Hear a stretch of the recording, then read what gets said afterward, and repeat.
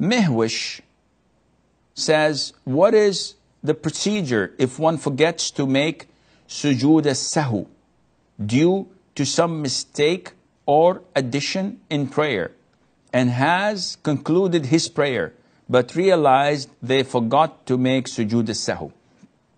First of all, sujood as-sahu, what does it mean?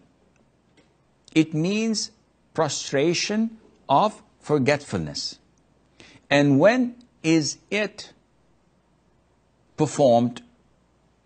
The answer is when you forget something that is mandatory in prayer, or you add something that is mandatory, which you're not supposed to add it, or you forget a pillar during prayer, but you reconcile and catch up with it, make it up in the same prayer, or you add something to the prayer that is not part of it, with the exception of sunnah.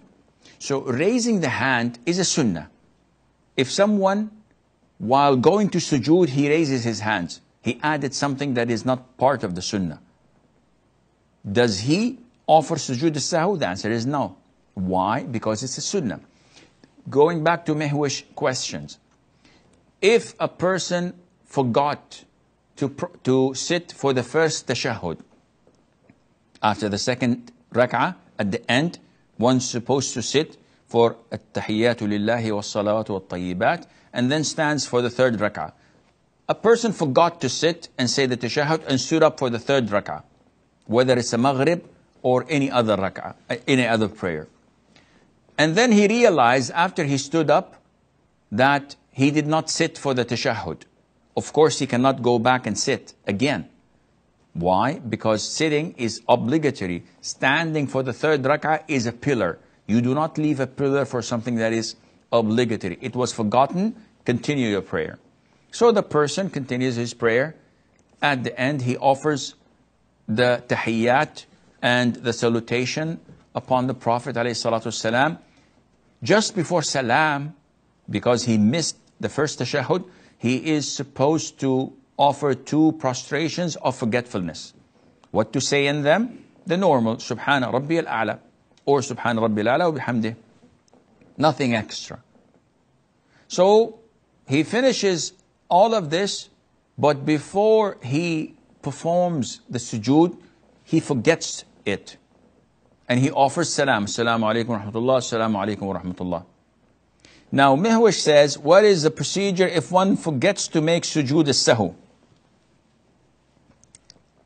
If one forgets to make sujood as-sahu, if the gap is short, so now you're sitting, you subhanallah, alhamdulillah, Allahu Akbar, ayat al-kursi, you're still sitting in your prayer position and you remember.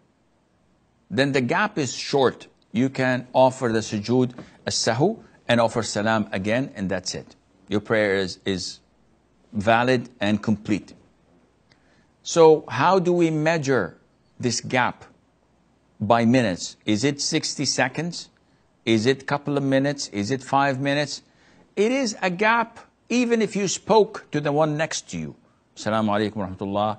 How it's going, what's happening, chit chatting, and then you remember, no problem, prostrate. But if you leave the masjid, or after like 15, 20 minutes, you forgot, you took a nap, you reached home, in this case, your prayer would be valid. And forgetting the sujood sahu or the prostration of forgetfulness, would you would be exempted from it, alhamdulillah, and there's nothing for you else to do.